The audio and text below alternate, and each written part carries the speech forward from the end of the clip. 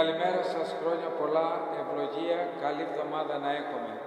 Καλημέρα Πατέρα Δημήτρη και Πατέρες των Αγίων Ισιδόρων του Λικαβητού, τον ευλογημένο παράδεισο του Λικαβητού, το πρώτο θαύμα το έζησα πριν πέντε χρόνια. Δεν το γνώριζα τον Άγιο Εφρέμ, αλλά μόλις μου μίλησαν για τον Άγιο, πίστεψα ότι θα με αξιώσει να ζήσω το θαύμα, το θαύμα του. Διαγνώστηκα με καρκίνο στα γυναικολογικά. Μετά από μαγνητικές βιοψίες μου είπαν μπαίνω στο χειρουργείο και ότι θα χρειαστούν κάποιες ακτινοβολίες. Εγώ κάθε μέρα στο σπίτι διάβαζα την παράκληση του Αγίου Εφρέμ. Τον παρακαλούσα, δεν το απαιτούσα, τον παρακαλούσα αν ήθελε να κάνει το θαύμα του και σε μένα προγραμματισμένο το χειρουργείο μου, το ακυρώνουν τελευταία στιγμή, για μια εβδομάδα αργότερα.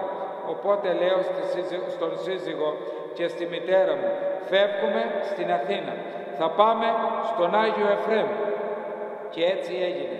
Φτάνοντας εκεί, στην πρώτη πόρτα κάτω, με το που κατέβηκα από το αυτοκίνητο, ευωδίαζε ο τόπος όλος.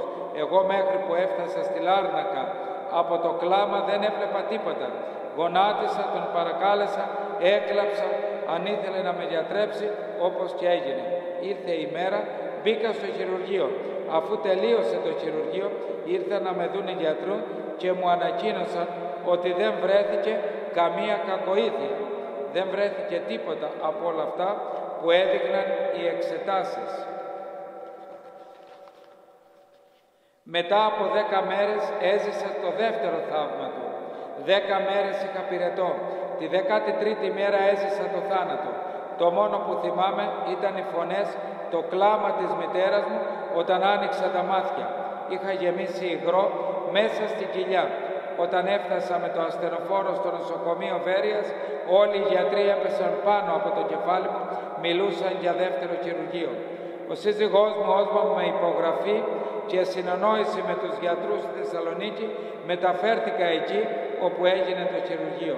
Είχαν έτοιμο το χειρουργείο στη Θεσσαλονίκη, αλλά δοξασμένο το όνομα του Αγίου Εφρέμ. Δεν χρειάστηκε να με ανοίξουν πάλι. Ο πνευματικός μου, αφού μιλήσαμε, μου είπε να κάνουμε μαζί προσευχή και έτσι και έγινε.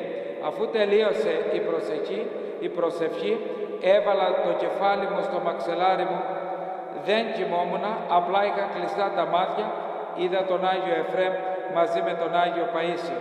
Με σταύρωσε ο Άγιος Εφρέμ και τους έχασα μετά και από τότε κάθε χρόνο έρχομαι στην Αθήνα για να προσκυνήσω και να τον ευχαριστήσω για το θαύμα του.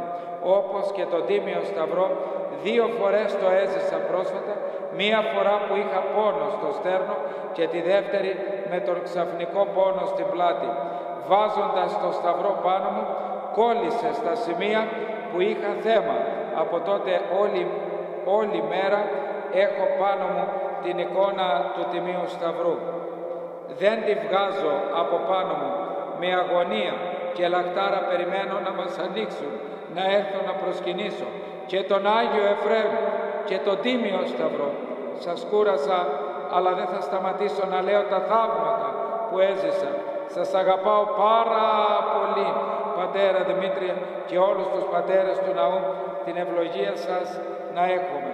Και μία πολύ ωραία φωτογραφία που έχετε βγάλει τον Άγιο Εφρέμ και εδώ τους Αγίους Ισιδόρους.